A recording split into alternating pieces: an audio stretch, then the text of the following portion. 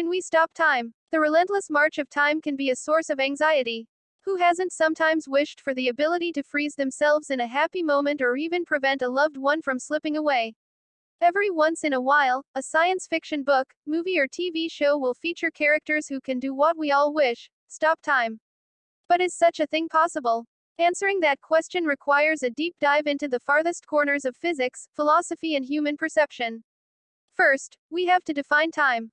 To a physicist, it's not that mysterious, Sean Carroll, a theoretical physicist at the California Institute of Technology, told Live Science.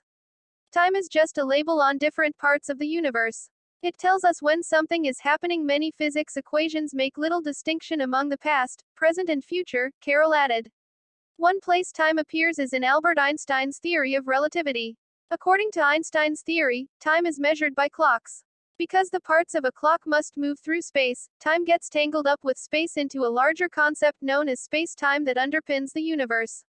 Relativity famously showed that time can become pretty wonky depending on how fast an observer is moving relative to another observer. If you send a person with a clock on a spaceship at near light speed, time will seem to pass more slowly for them than it would for a stationary friend left on Earth. And an astronaut falling into a black hole, whose immense gravity can warp time, might also appear to slow down relative to a distant observer. But that's not really a way to stop time, Carroll said. Two clocks may disagree in relativity, but each will still record the usual passage of time within their own reference frame. If you were nearing a black hole, you wouldn't notice anything different, Carroll said. You would look at your wristwatch, and it would pass at one second per second. For him, it makes little sense to talk about stopping time. We know that a car is moving because, at different moments of time, it's at a different location in space, he said. Motion is change with respect to time, so time itself can't move. In other words, if time stopped, all motion would stop too. While sci fi has sometimes given as protagonists who can pause time for everyone else, such situations raise a great deal of questions. Are you stopping the air from moving? Carroll asked. Because if so, then you're imprisoned by the air. A time-stopping character would also likely be unable to see anything, he added, because light rays would no longer reach their eyeballs. There's not really any consistent scenario in which time stops. So much for physics. But time is more than just something read on a clock.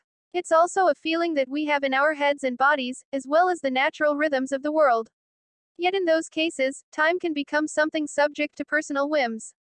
Thinking about the subjective impression of time gets interesting. Craig Callender, a philosopher who specializes in time at the University of California, San Diego, told Live Science.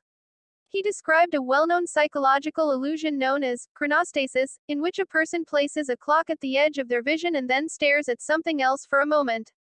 Glancing back at the timepiece and focusing on the second hand will make it pause.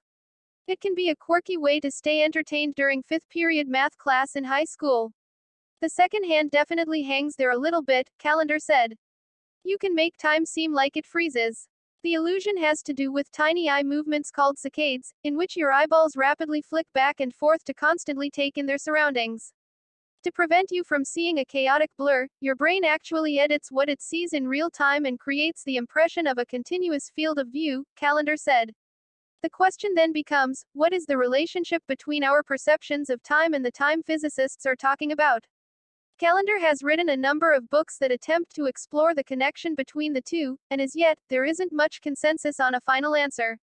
Regarding the ultimate flow of time, Callender favors a picture, where there's nothing flowing, but the story of yourself is flowing. And what does he believe regarding the possibility of stopping time? If we think of our subjective sense of time, then we can stop portions of it with chronostasis, Callender said. But that's probably the closest we can do. Thank you for watching.